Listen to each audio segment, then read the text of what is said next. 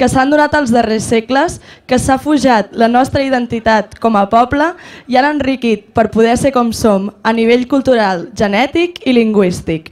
Precisament perquè la humanitat no és estàtica, sempre busca fugir de la misèria i buscar un futur digne.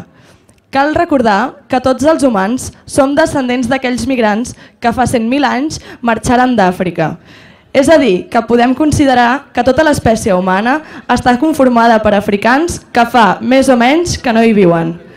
Molt sovint, la percepció de les migracions i de les persones migrants ve molt influenciada pels mitjans de comunicació i per als prejudicis establerts d'Antubi. Existeix la percepció per part de certes persones que Europa està visquent una onada migratòria sense precedents i que el futur de l'essència europea està, en conseqüència, en perill. Aquest argument és totalment fals i cal defugir-lo i contraposar-lo en tots els espais possibles. Aquest missatge sols respon a prejudicis racistes. Cal fer pedagogia i trobar espais de convivència veïnal que posin de manifest que els problemes, reptes i ambicions són els mateixos per tothom i que l'únic que ara mateix ens fa diferents als humans és la nostra capacitat adquisitiva i les oportunitats d'integració social que no, enten, que no en tenen d'ètnies ni orígens.